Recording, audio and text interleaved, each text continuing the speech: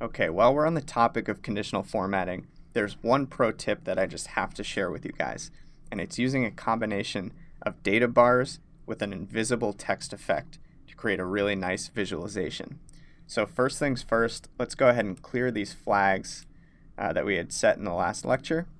And what I want to do here is pull in a second instance of gross revenue. So even though it's already inserted into the pivot, I can just drag that field again and create a second instance of revenue. And the reason I'm going to do this is because I'd like to have one column that continues to just show me the raw values themselves on their own, and a second version of the column to treat purely as my visualization column. So like I showed you in the last lecture, I could just select the values, go into conditional formatting, and add data bars here. That works okay. My problem with this is that I don't like the overlap between the numbers and the visuals themselves. I think it's a little bit messy, it's tough to read, so I really want to get the numbers out of this second instance, especially since I'm going to keep them preserved in the first instance of my gross revenue column. So a lot of people will tell you, okay, yeah, you can select the data and you can you know, do a font size of, of 1 or something like that, or maybe choose your font white.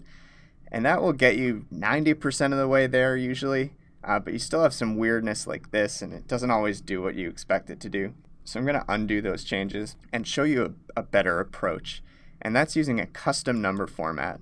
So I'm going to right click and go into number format and down here in the custom option I can type a specific custom cell format here. And here's the key. If you type three consecutive semicolons and press OK, that tells Excel to make the font invisible. And that's exactly what we're trying to do here. So now we've got the numbers themselves and the associated data bar. So we've got a really nice visualization that tells the story very well. So there you go. Pro tip, using data bars combined with custom cell formats to create a really cool visualization effect.